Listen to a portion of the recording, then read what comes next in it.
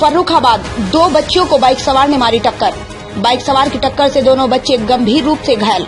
Bike सवार नशे की हालत में चला रहा था बाइक। बच्ची के परिजनों ने बाइक सवार के घर पर की शिकायत। बाइक सवार ने बच्चों के परिजनों को जान से मारने की धमकी देकर भगाया। दोनों घायलों को सीएचसी में कराया भर्ती। बच्चों के परिजनों ने थाने में दी तहरीर। थाना नवाबगंज के दौलतपुर गाँव का है पूरा मामला।